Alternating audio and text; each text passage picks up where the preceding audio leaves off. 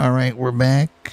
Track guide after being off for two weeks, and I've done nothing in those two weeks, so you figured I'd be more prepared. But no, that's not the case. Anyways, we're at Richmond, and nothing's really changed. So I'm not even going to use the keys of the race card because it's exactly the same points. Me hating the diffuser to some extent. The setup is ass. Actually, I think it might be worse. I think the package is slightly different because we're way slower like half a second or more, we're way off. So some things have changed, and that's pretty much just it. So tires, I guess, keep them, keep an eye on them. Uh, maximize your exits, and don't die because it's a short track. So we're gonna go ahead and get to pit road and uh, talk about the lap. All right, making our way to pit road. Enter it. Enter turn three like normal. Just never get off the brake. Downshift to second gear. Peel out down to 40 miles per hour. As usual, we're going to speed this up. Not too much of a speed up. There's your pit speed limit exit. Keep it under the yellow. You know the drill. Blue cone's going to be right out of turn two, which is right there. And now onto the lap. All right, fix it up, fix the weather dynamic weather, so it changes a little bit. You can see the track temp there under my under my gear counter.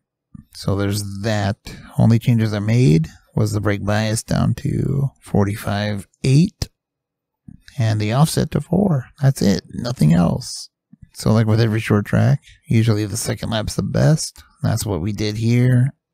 Gave the tires a little time to, to get up to temp and so on.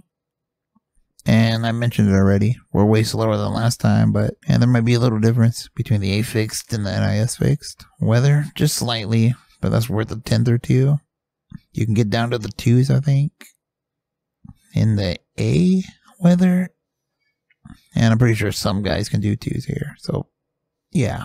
I'm a little off base, but that's the best we're gonna do. Uh and we'll see how this was done, then we'll talk about it.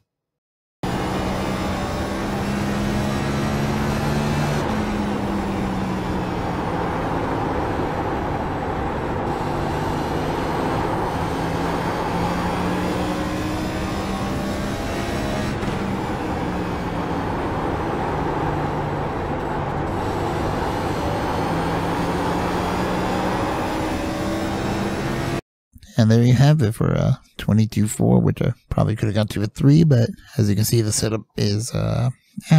alright, like with any decent lap. Getting a nice run out of 4 seems to help. I'm going to slow-mo it immediately, because we're looking at these NASCAR beginning logo thingies, starting here.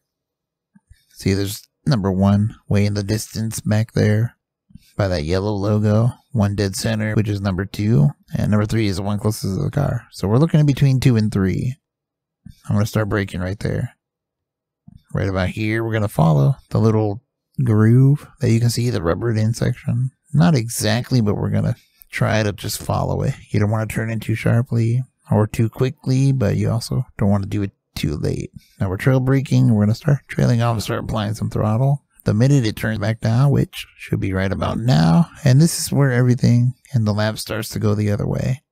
You're fine all through the center to the beginning of the exit. It's from the beginning of the exit to the straight is where things go to hell with this car. Which is why you don't want to turn in too early and also don't want to turn in too late because it affects this whole thing. So let me play this at, and we'll just go with a times two or slow mo. You see how much I fight the car here? You're trying to get to the throttle as soon as possible, but it's just hard to do. So now we're looking at turn three, which basically begins right here. I'm looking at the end of this black Xfinity logo. Right as I'm passing it, I'm going to get on the brakes. But you notice I don't just jerk it in to the corner. I kind of slowly turn into the corner. That's just to get down to the yellow line at the exact point. Because if you do it too soon, you kind of gotta change your trajectory a little bit. So let's slow mo it on the, on the brakes, turn in slower than I normally would, which I think I screwed that up. But same thing as turn one trail brake, but kind of in reverse. You want to get to the yellow as soon as possible, wrap it around the yellow, and for the same reasons, even though turn four is more forgiving, you want to be careful on the throttle, track all the way out, but not too soon, because if you do, you'll get in the gray and the car doesn't like it. You can already see it out of line, and you just gotta fight it. And there you go.